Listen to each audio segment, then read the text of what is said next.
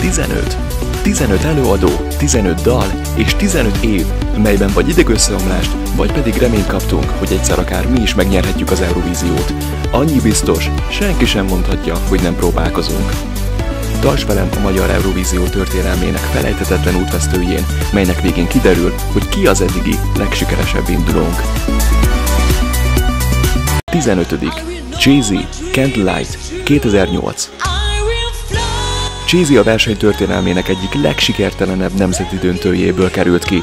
A magyarországi döntő nyertese a belgrádi elődöntőben a 19 vagyis az utolsó helyezett lett. Előtte és utána sem voltunk utolsók soha, így Cheesy szereplése egyelőre a legrosszabb emlék marad minden rajongó fejében. Vagy mégsem? 14.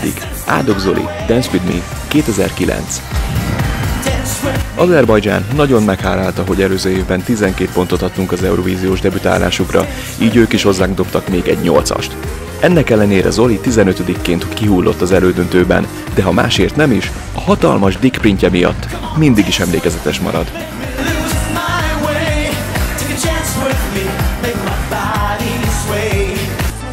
Tizenharmadik. Compact Disco, Sound of Hearts, 2012.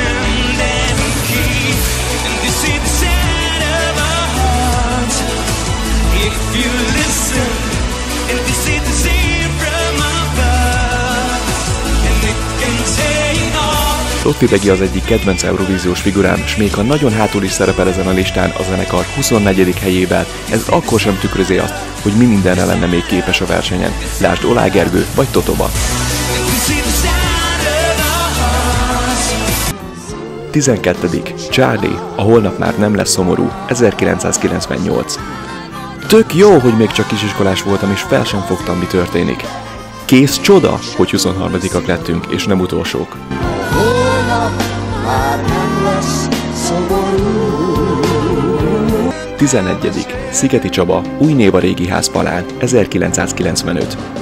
Ha csak a pontszámot néznénk, Szigeti lenne a legsikertelenebb magyar, mindössze három ponttal. Sok.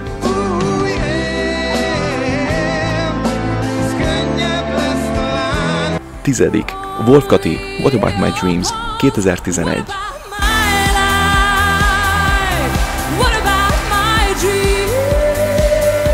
Düsseldorfi verseny az egyik legvitatottabb kimenetelő az összes eddigi közül. A fogadóirodák jóslatai kártyavárként omlottak össze, mint ahogyan a rajongók is Kati 22. helyezése után.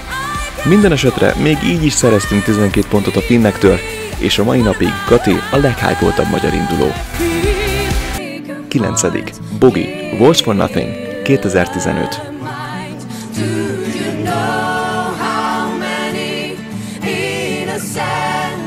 Hát, mit is mondhatnánk erről az enervált, unalmas, fapofájú békemenetről?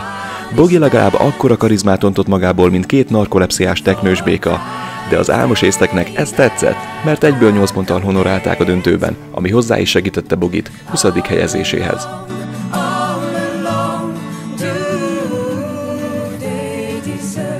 8. Freddy Pioneer 2016 Habár a dal a magyar döntőben kiemelkedőnek számított, a stokholmi versenyen eltörpült az Eurovízió igazi nagyjai mellett, és ahhoz képest, hogy a vokalisták talán még nagyobb szerepet is kaptak Freddynél, a 19. hely még jónak is számít. Mindezek ellenére sikerült rekordot döntenie. Ő lett az első magyar induló, akire minden országból érkezett pont. 7. VIP. Miért kell, hogy elmenj? 1997.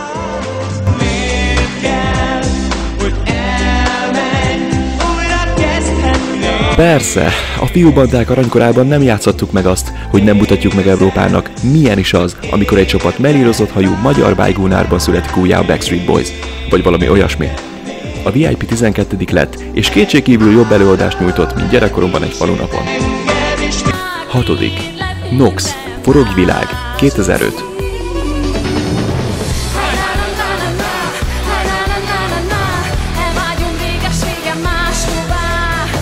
Az egyik legemlékezetesebb részvételünk, ami abban is megnyilvánul, hogy a közvélemény még mindig a Nox-szal azonosítja a magyar etnopop zenét, tök helytelenül egyébként. Péter Szabó Szilvi 40 fokos lázzal lépett színpadra, de így is sikerült behúznia egy 12. helyezést. 5. Báj Alex, kedvesem, 2013. A dal című nemzeti válogató talán legbotrányosabb győzelme volt Alexei, akiről a malmői tizedik hely előtt senki sem hitte volna, hogy akár tovább juthat az elődöntőből. Talán még maga sem, bár őt annyira nem is érdekelte az egész. Ma már igyekszik elfelejteni és leszórni a versenyt, aminek máig tartó sikereit köszönheti. Németországtól 12 pontot kapott. Negyedik.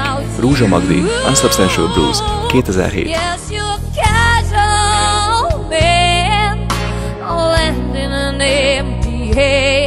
Magdi története egy klasszikus tündérmese. A Megasztár harmadik évadának megnyerésével kitört a vajdasági szegénységből, és egy év múlva már a Helsinki Show műsorban találta magát, ahol őszinte dalával egyszerre két országot is képviselhetett. Persze nem hivatalosan, de Szerbiában ugyanúgy ünnepelték őt is, mint Maria Serifovicsot, aki végül megnyerte a versenyt. Magdi a kilencedik lett, az elődöntőben viszont a második. És íme a dobogó! A harmadik, Pápa Joci, Origo, 2017. A Jóci döntős 8. helyezése és elődöntős második helyezése még nem lenne önmagában is elég szép eredmény, Eurovíziós öröksége akkora, mint például Conchita Bursté vagy Salvador Sobraré. Ő is egy rekorder. Ő a verseny 62 éves történelmének első cigányzenei indulója, aki bejutott a döntőbe. Az elődöntőben minden egyes országtól kapott pontokat, a döntőben Szerbiától és Horvátországtól 12-t is. Második, Kálai Sanders András, Running, 2014.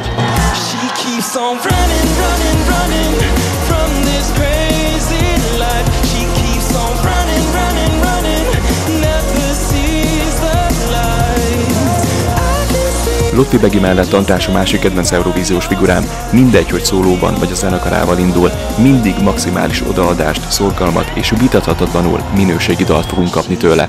Kopenhágában egy ideig még úgy is tűnt, hogy megnyerheti nekünk a versenyt, de végül ötödik lett.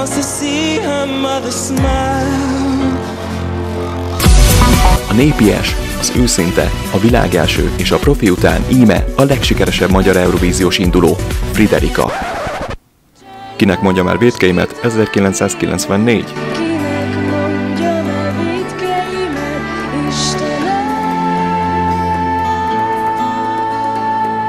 Nos, igen, elég nehéz elhinni, hogy ennyi egyedi és modern dal után még mindig az első Eurovíziós szereplésünk vezeti a listát egészen a 90-es évek elejéről.